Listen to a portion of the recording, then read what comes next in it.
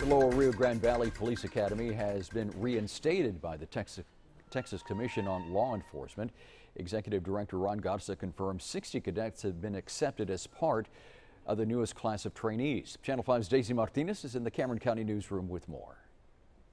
The 60 cadets are now part of the 193rd Basic Peace Officer Training Course at the Lower Rio Grande Valley Development Council Police Academy.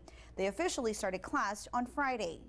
The police academy housed at TSTC in Harlingen was suspended back in June after videos surfaced online showing alleged excessive force by an instructor during physical training. TCOLE stepped in to investigate operations at the academy. The Harlingen Police Department also opened a criminal investigation on the alleged assault.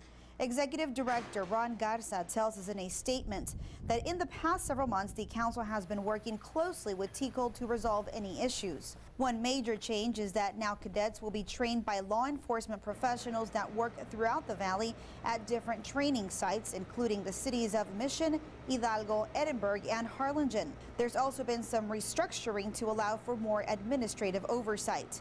Garza did not specify if TSTC will still be used as one of the training sites. Harlingen Police has not made any arrests in the criminal case. Right now, the Lower Rio Grande Valley Development Council is working to finalize the schedule for 2017, and they're also starting to take applications for future day and night classes. From the Cameron County Newsroom, Daisy Martinez, Channel 5 News at 6.